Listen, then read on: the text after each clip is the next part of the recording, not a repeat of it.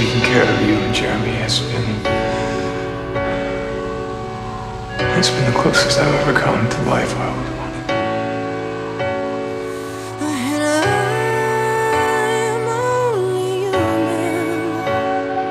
I said, I